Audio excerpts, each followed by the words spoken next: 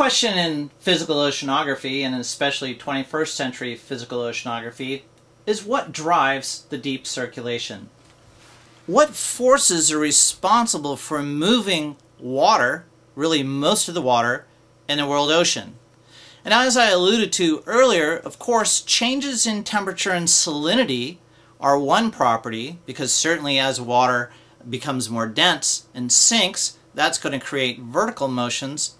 But it's always been a mystery, or perhaps maybe not recognized as importantly, how that water gets back up to the surface. Because at some point, we have to have remixing of those deeper waters, otherwise the whole ocean just becomes homogeneous and becomes one big sink of water. So ocean circulation by definition is up and down as well as around and so what are the forces that drive the deep circulation is a really important question in modern day physical oceanography and one that's not without some controversy.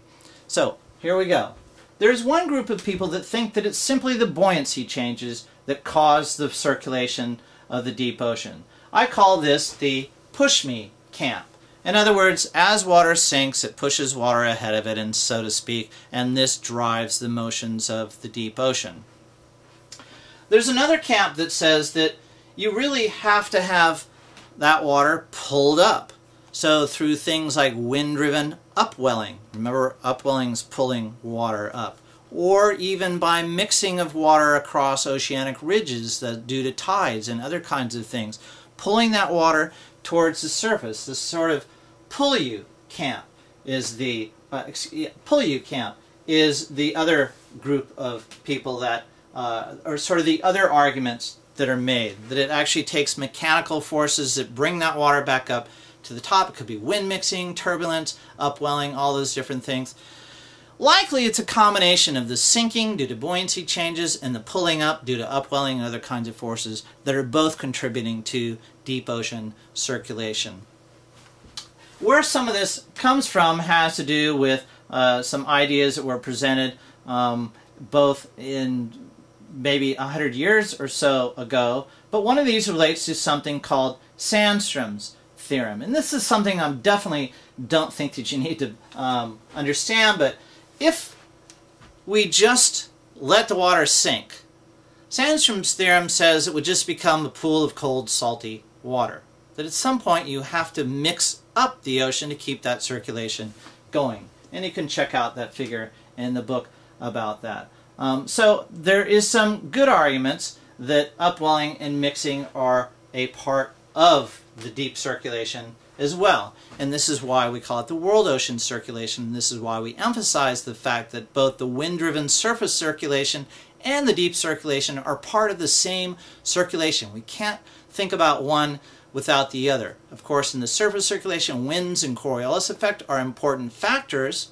In the deep circulation, temperature and salinity changes are important factors, but all those Winds are important for deep circulation as well, and temperature and salinity are also important for surface circulation.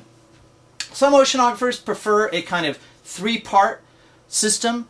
So there's a surface circulation and a very deep circulation, and then there's exchanges across intermediate depths that regulate the exchange of water from deep to surface waters and it's that intermediate that that intermediate boundary is kind of where all the action is. It's where water is pulled up or water is sent down uh, kind of like a conveyor belt system with three parts or three levels to it. Um, and who knows? It's certainly as we learn more about the ocean as we make more measurements of the world ocean circulation some of these questions will begin to be answered, and we can move from the theoretical, which is really dominating this discussion right now, to the observational, which is really where we need to be with understanding the circulation of the deep ocean and ultimately Earth's climate. Here's a kind of picture of all the different kinds of things that might influence the deep circulation. And again, it's one of those figures I don't expect you to know the details. It's just entirely meant to give you some idea of the complexity of the problem and to give you insights into the different areas that oceanographers are looking at. Um, things like runoff of water and surface waves and cooling and winds uh, and turbulent types of motions um, all sorts of different things that may contribute to mixing of the deep waters or may change the temperature and salinity of deep waters are going to be important forces that influence the deep circulation.